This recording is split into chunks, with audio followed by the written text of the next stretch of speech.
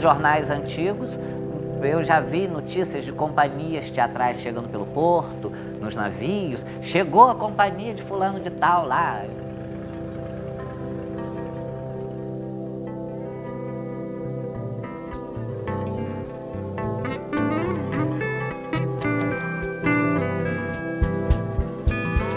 Esse prédio, o Cine Teatro São João, ele é de 1906 e ele foi construído para abrigar os artistas de São João da Barra.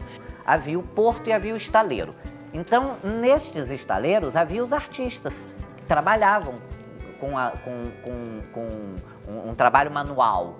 E aí você tem todo um prédio construído pra, para abrigar esse, esses artistas. E artistas em 1906, na realidade, eram artesãos, pintores, escultores. E depois, em 1960, 50, por aí, os teatros de patuscadas que eram encenados nas praças de São João da Barra, que são muitas, elas começam a ser feitas dentro do cine teatro, até a década de 80, mais ou menos. Quando chega na década de 90, as pessoas param de procurar o teatro e o teatro fecha.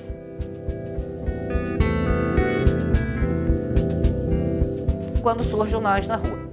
E o Nós na Rua tem a intenção de trazer esta tradição sanjoanense do teatro para a atualidade.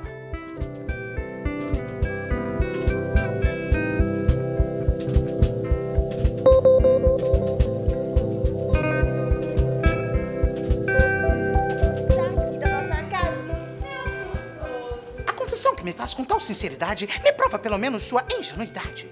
Mas estou bem lembrado, Inês, que proíbe você de ver qualquer pessoa a maledicência geral, por exemplo. Como todo mundo gosta de falar dos outros.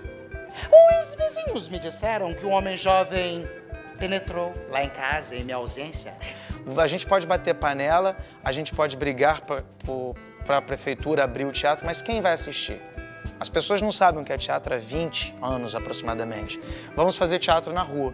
E começamos a encenar Maria Clara Machado na frente das casinhas, como os textos pedem.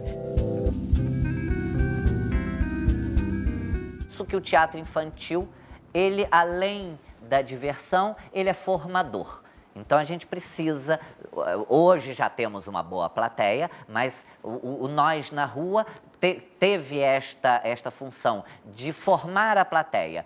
São nove anos de existência, viramos associação, é o único grupo legalizado, grupo teatral legalizado, com atividades ininterruptas durante tanto tempo. Então, acabamos entrando para a história não só pelo fato de reabrir um espaço, não só pelo fato de fazer atividades ininterruptas no município, a gente faz estátua, faz flash mob, faz teatro, faz musical e, faz, e, e a gente resgatou também o reisado das pastorinhas, que não é nem alto de Natal e também nem é, é folia de reis, é o reisado.